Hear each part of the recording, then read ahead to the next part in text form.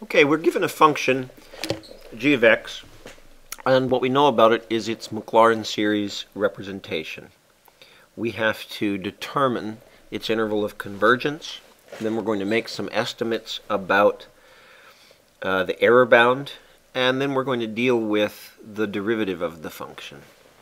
So in my mind, the real useful information is simply remembering the fundamental uh, Taylor polynomial expansion. And so uh, let's start with A, which asks us to first uh, determine the interval of convergence. So we begin by using the ratio test.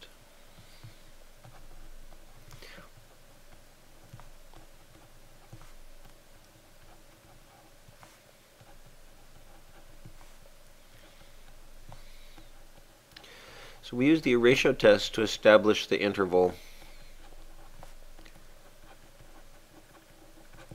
except for the endpoints, which we have to deal with separately.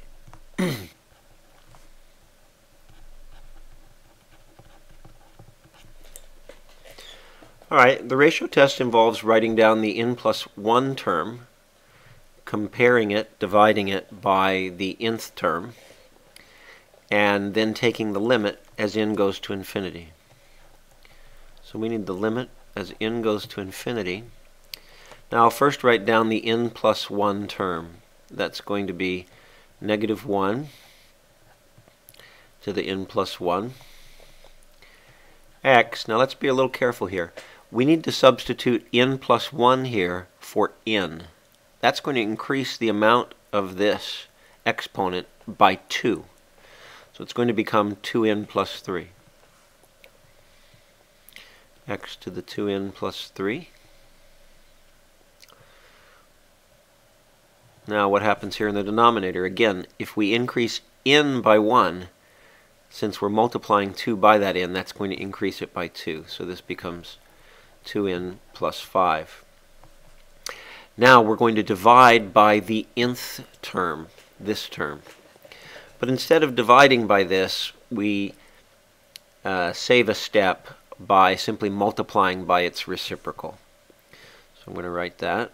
That's going to be, um, sorry, that'll be 2n plus 3 over x to the 2n plus 1.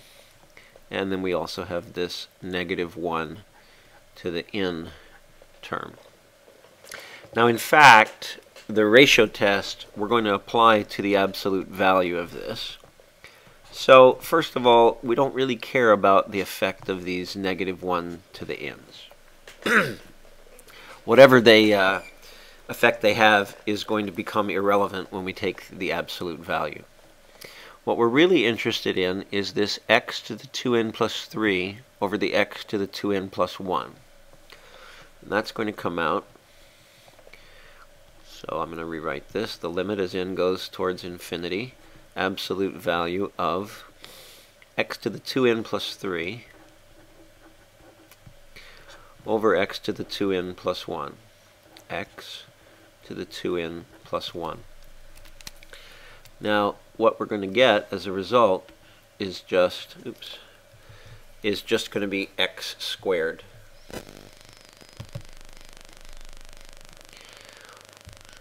Let's just put that in. Okay, so this is just x squared. Now what about what's left, namely 2n plus 3 over 2n plus 5? Well again, since we're taking the limit as n tends to infinity, the 3 and the 5 here really become irrelevant. And we're really just comparing 2n to 2n. So this is simply 1. So what we have is that x squared is the ratio between successive terms of this series in the limit that n goes to infinity. And so it's simply that x squared has to be kept less than 1. Well, that implies, of course, that x is between negative 1 and 1. Okay. Now we have to test the endpoints separately.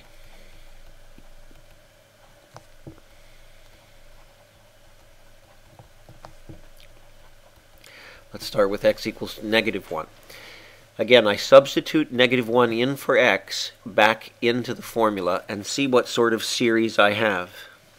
I have this infinite series n equals 0 to infinity of negative 1 to the n, 1, or negative 1 to the 2n plus 1.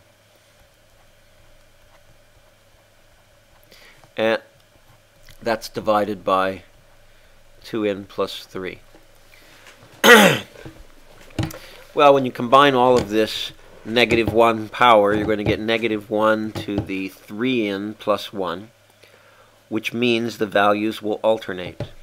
Okay, so this is an alternating series. And let's see what would happen, what would we get for our very first uh, term choice. Yeah, we're going to get um, negative a third plus one fifth minus a seventh, etc. And so because this is an alternating series,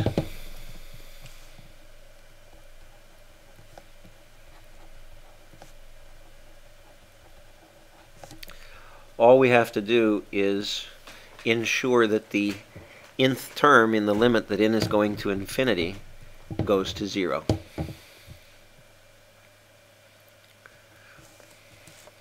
An alternating series whose um, uh, nth term magnitude uh, is decreasing to zero in the limit that n goes to infinity. That's enough to prove convergence.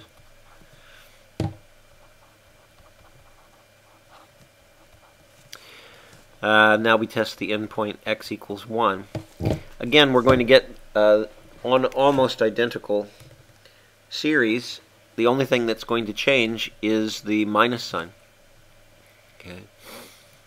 So let's see, we tested this x equals negative 1 case. Here's the x equals 1 case. Again, we get an, uh, an infinite series, n equals 0 to infinity. In this case, we're just going to have negative 1 to the n, and then just 1 to the 2n plus 1, which is just 1, so I'm not even going to write it down. 2n plus 3. So it's essentially the same series that we had before, but just the negative of it. So, dot, dot, dot. I guess I should have said dot, dot, dot. And by the same arguments as above,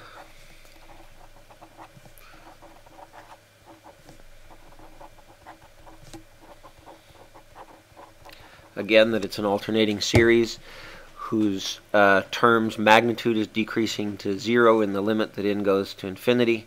So we have that it converges. Okay. So, putting all of that together, we have an interval of convergence of that includes both endpoints.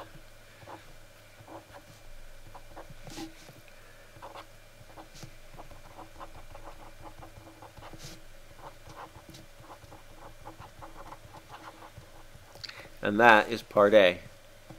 Let's continue this in part B.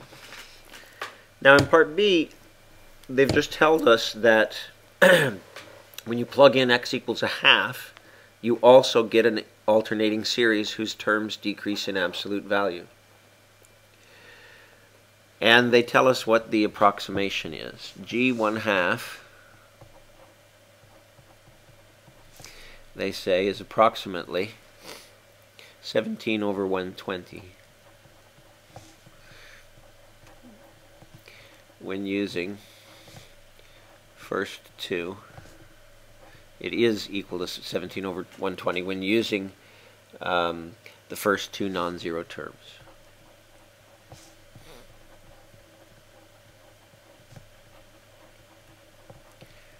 Okay, now they want us to show that the error uh, of this approximation uh, differs from the true value by less than 1 in 200. And what we're going to say is because this is an alternating series,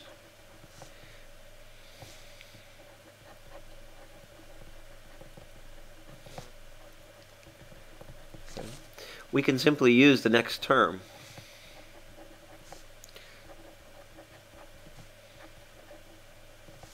as a bound on the error.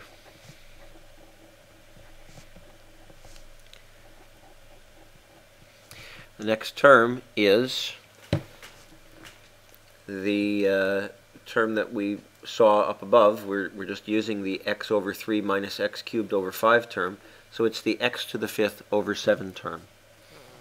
Okay, So we're just going to say that the error is its absolute value is less than or equal to 1 half to the fifth over 7 which equals um, 1 over 224 and 1 over 224 is certainly less than 1 over 200 so that's the proof. Last thing is just to write the first non the first three non-zero terms and the general term of the Maclaurin series for G prime. So G prime, I can simply take uh, the term by term derivative to find G prime.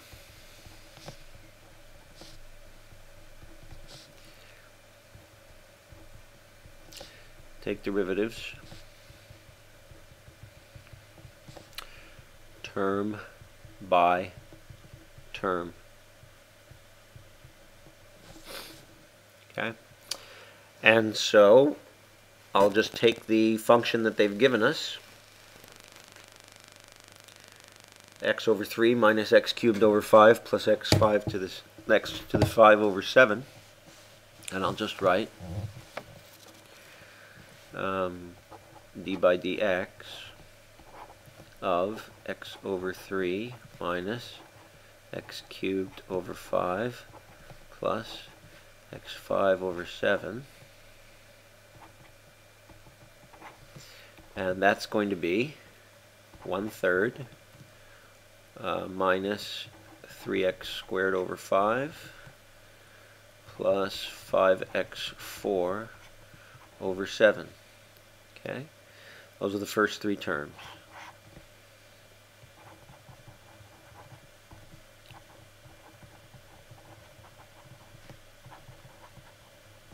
What about the general term?